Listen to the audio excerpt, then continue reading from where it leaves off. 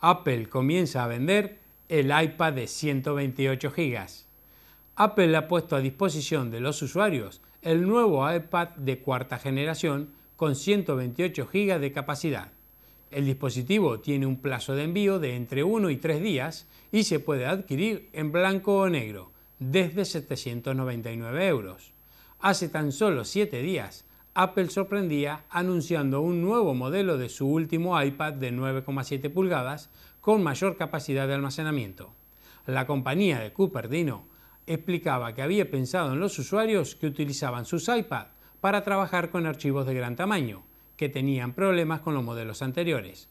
El nuevo modelo es un iPad de cuarta generación que dobla la capacidad máxima existente hasta ahora en el catálogo de Apple.